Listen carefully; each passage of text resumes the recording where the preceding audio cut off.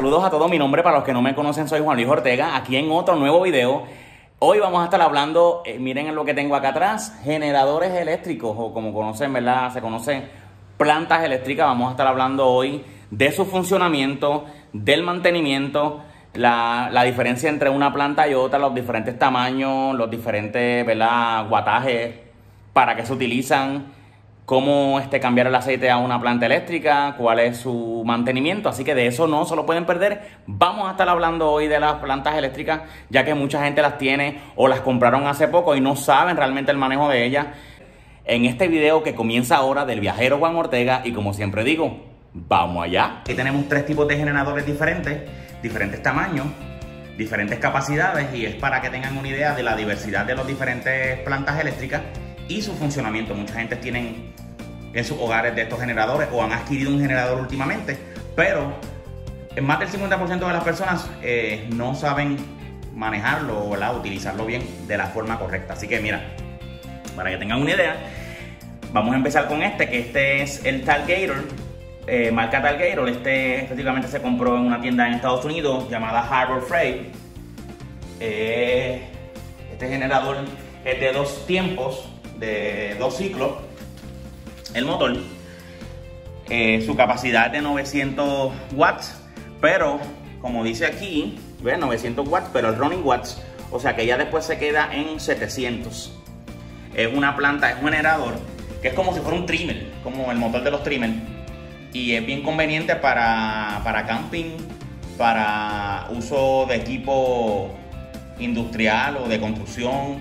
Mucha gente la utiliza para conectar taladro, para conectar diferente maquinaria pequeña, eh, pero también su uso primordial es para, para la gente que se va de camping.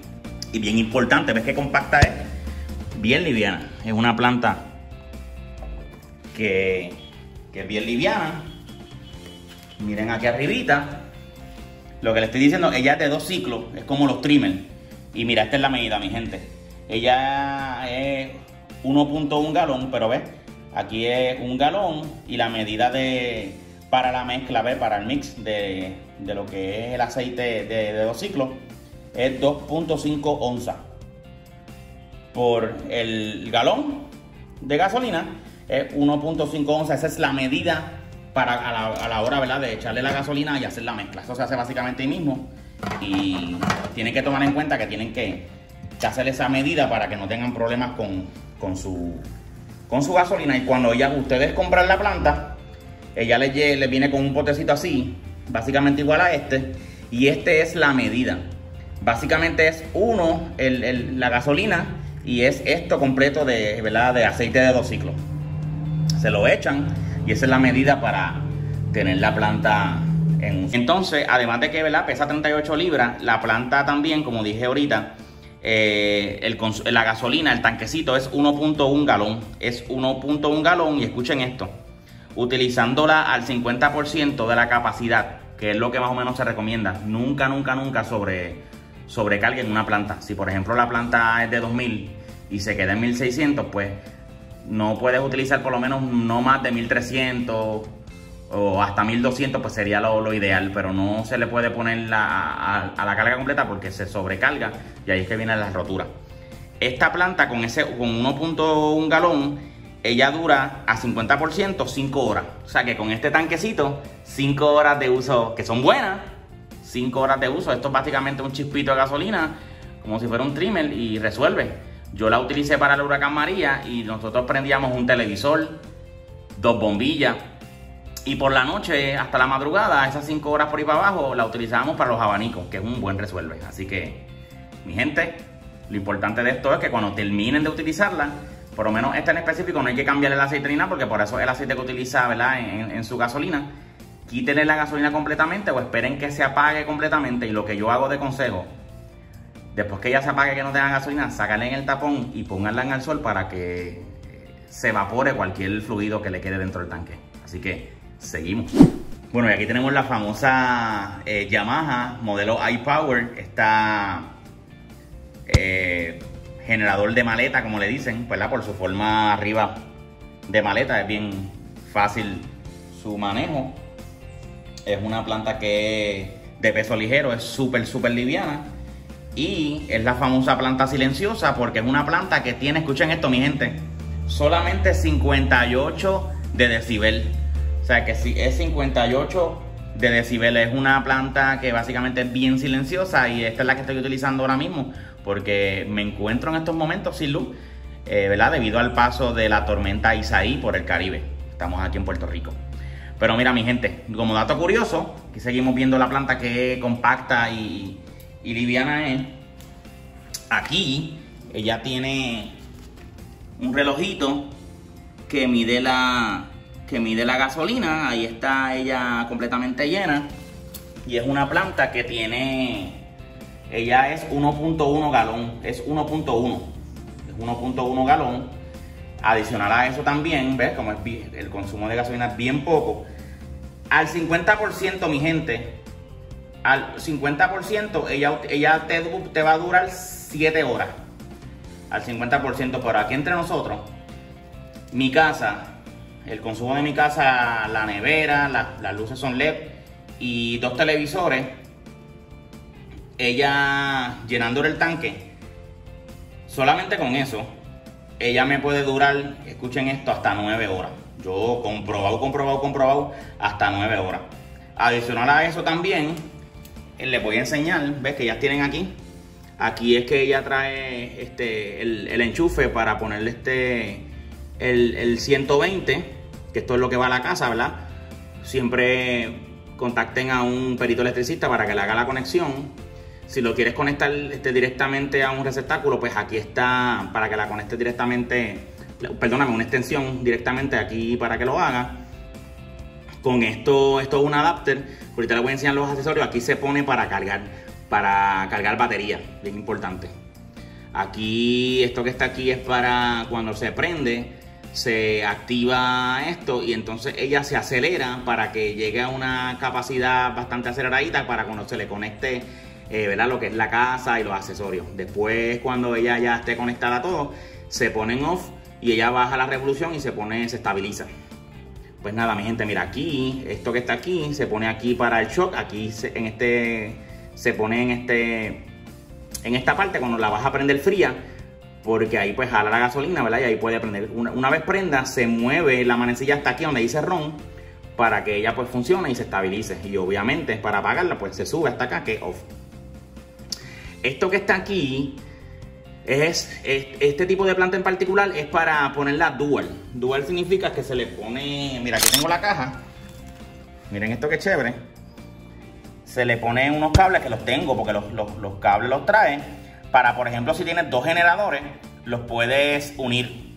Esta planta, obviamente, como dije al principio, es de 2000, pero se queda en 1006. Y obviamente trae esa tecnología para ponerla dual. Entonces, obviamente, vas a adquirir 3200 eh, watts, porque vas a tener dos, dos generadores en uno. Así que ella es bien importante y está bien chévere, bien interesante. Y les voy a enseñar los accesorios. De lo que le estaba hablando ahorita, este cable cuando la compren dentro de la caja, mira, estos son los accesorios que ya trae.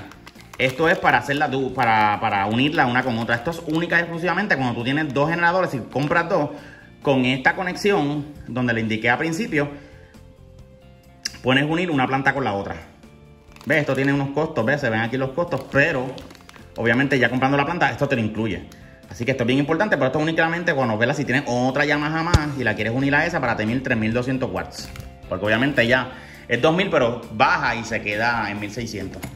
Trae esto, que es su embudo para cambiar el aceite. Y esto bien importante, es la conexión para el 120, para hacerle la conexión, ¿verdad? Con su electricista certificado al 120 con, con su transfer switch como lo quieras hacer.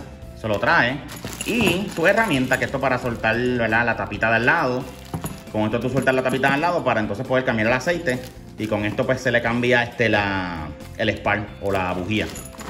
Esto, que es lo que le dije ahorita, esto es bien interesante. Esta planta, en el compartimiento que le enseño ahorita redondo arriba, esto es para cargar batería. Es un battery charging y es bien importante, bien, bien, bien necesario, ¿verdad? Porque cuando se nos agota alguna batería o algo con la planta, se puede cargar. Estamos con la planta iPower de 5000. Esta planta es de 5000, pero obviamente el running watt, ¿verdad? Donde ella se queda constantemente es en 4000. Esta es una planta que su consumo es bien económica, ¿no? De verdad, este, aunque ustedes no lo crean, es una planta bien económica. Yo la compré en Home Depot. Ve aquí ella tiene para el medidor de gasolina. Y la planta, ¿ves? son la capacidad de 4 galones, más o menos en dólares. Son como de 14 a 15 dólares para yo poder este, llenar el tanque. Pero escuchen esto, consumiendo el 50% de la capacidad, ella te llega a durar 11 horas. Y doy fe de eso porque para el huracán María también la utilicé y yo lo que hacía al principio, antes de tener la Yamaha, era que yo la utilizaba mitad de tiempo, el tanque lo utilizaba para dos veces, o sea, para eh, algunas 10 horas y media, 5 horas y media.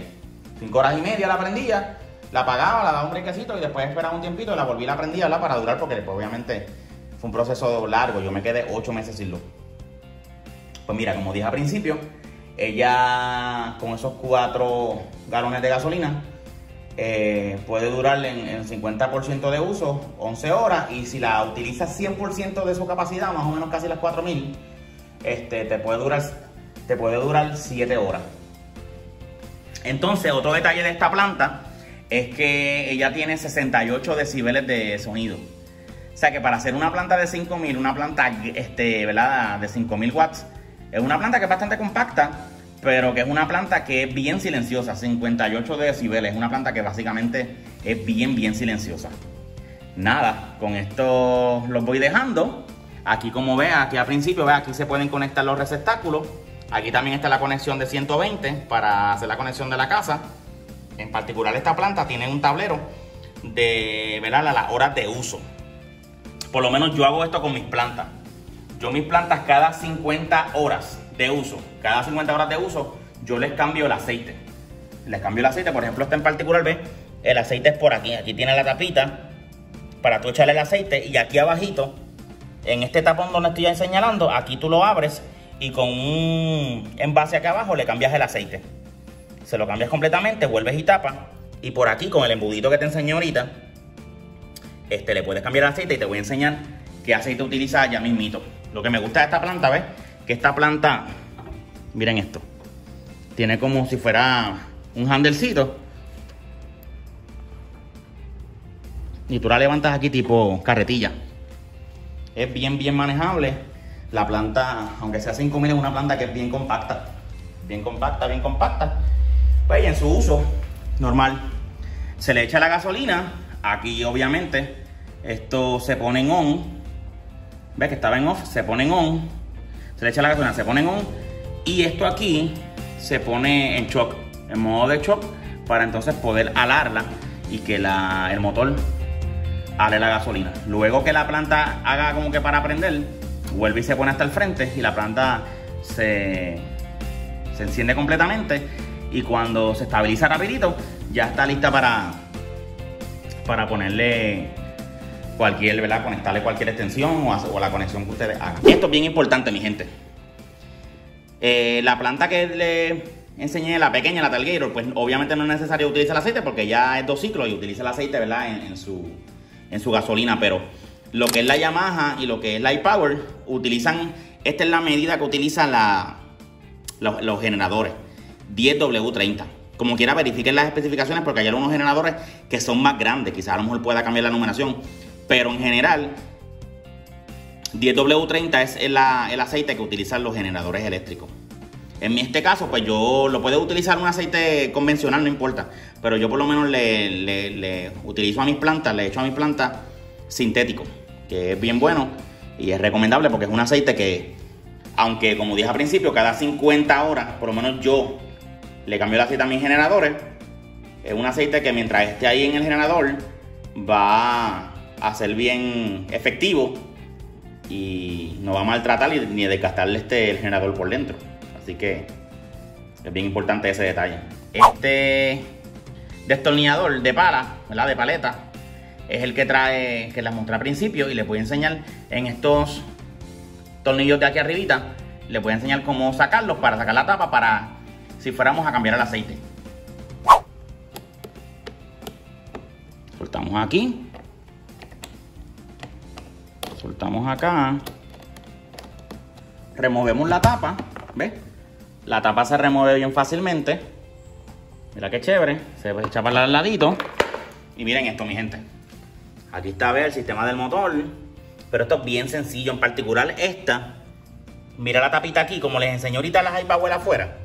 La de la, área de la del aceite. Pues mira, en estas plantas tienen esta tapita aquí.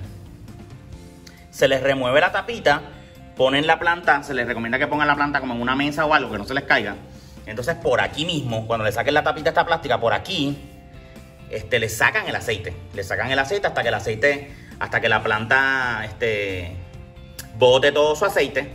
Entonces, luego de eso, con el embudo, se, se pone aquí el embudito y se le echa el aceite.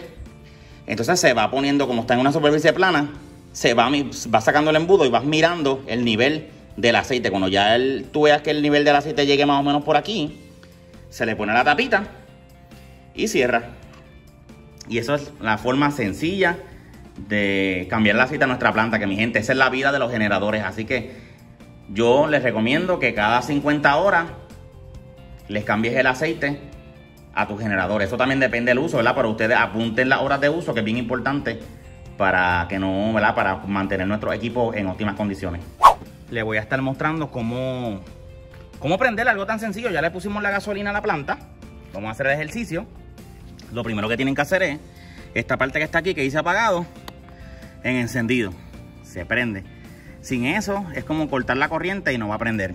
Luego que hagamos eso, pasamos aquí a esta parte. Y bien importante, si la planta lleva tiempo que no se prende, por ejemplo un día entero que no se prende, se pone aquí, que es el shock. Se pone esta parte en on, que aquí es, esto es una válvula ¿verdad? que corta y abre el fluido de, gasolina. Se prende, se pone, se, perdóname, se pone en on. Y luego que tenemos ya esto puesto, esto abierto, el botón en on, vamos a proceder a prender.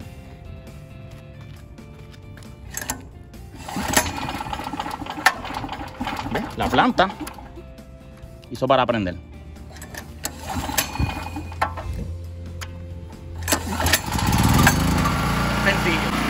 La planta tiene 68 decibeles. Para hacer una planta de 5000 watts, es una planta básicamente silenciosa, oigan. No se escucha muy duro. Así de una forma sencilla, prendemos nuestra planta. Y como les dije al principio, su buen mantenimiento es importante para la hora de utilizar la planta en una emergencia no nos falle. Ya le eché gasolina es bien importante que aquí en esta parte, por lo menos en este tipo de planta, esta tapita que está aquí, que es de la gasolina, la pongan en on. ¿Por qué? Porque se abre y es como un respiradero. Es bien importante que eso esté en on. Ahí vemos que tenemos nuestra gasolina. Y procedemos a prender. En este caso, les explico. Si la planta no se hubiera prendido, estuviera todo el día sin prender, se pone abajo en shock. Para que ella hale gasolina. Y luego de eso, ¿verdad? ya tenemos la planta ready para prenderla. Aquí rapidito procedemos a prenderla. Por aquí cogemos, agarramos bien con suavidad porque no se puede hacer muy duro. Tenemos nuestra plantita prendida. Mira qué chévere. Luego que prendió, se pone aquí en ron. Se pone en ron. Y miren esto. Esto no se escucha, mi gente. 58 decibeles. Básicamente es una planta súper silenciosa. Bien conveniente, esta es mi planta favorita. Esa yo la pongo aquí en casa cuando se va la luz. Obviamente la estamos utilizando porque está, después de esta tormenta ahí, aquí en Puerto Rico nos quedamos sin luz y la, utilizamos. Le llené el tanque y con el consumo que yo tengo que es la nevera, las bombillas y los televisores, nos dura más o menos 9 horas y media, 10 horas, que es excelente para 1.1 galón, galón de gasolina, que es 1.1. Es bien, bien, bien poquita gasolina que utiliza. Así que mira, no estoy cortando la voz. En esto. Bien silenciosa. Así que con esto lo voy dejando. Saben que obviamente en el sistema de ella, cuando la vayan a conectar a la casa, ¿verdad? Obviamente, gente, todo esto con un electricista certificado. Eh, lo primero que tienen que hacer es tumbar el membreaker a lo que vayan a hacer porque esto no es un juego, esto tiene que hacerlo con una persona que sepa. Pero cuando vayan, ¿verdad? se vaya a conectar a cualquier cosa, ya luego que se prende, se utiliza este botón y mira, es que se acelera. Esto es para cuando vayan a conectarla a la casa, que ya esté bien, bien acelerada para que coja ese guataje. Luego que ya esté todo así como está, se conecta aquí o se conecta ¿verdad? Este, a la extensión y después luego se baja y ella se estabiliza. Básicamente ese es el funcionamiento de la planta. Así que mi gente, espero que hayan disfrutado este video. Estoy aquí al ladito de mi plantita prendida. Bien silenciosa, ¿verdad? Así que las personas que vieron ¿verdad? nuevas en mi canal, si les gustó el video, aquí abajito se pueden suscribir, se le dan suscribirse eh, y activar las campanitas para que les lleguen notificaciones cada vez que el viajero Van Ortega sube videos nuevos. Eh, gracias por el apoyo, dale like a este video bien importante, compártanlo, porque es un video informativo bien beneficioso para esta temporada de huracanes y de tormenta. Así que mi gente, en mi último video estuve hablando de cómo hacer una cisterna casera y una ducha casera. Si no lo vieron, vayan aquí abajito y vean el video que es bien interesante y se suscriben a mi canal. Así que mi gente, gracias por el apoyo, gracias por todo y mi gente, hasta el próximo video. Así que, hasta la próxima.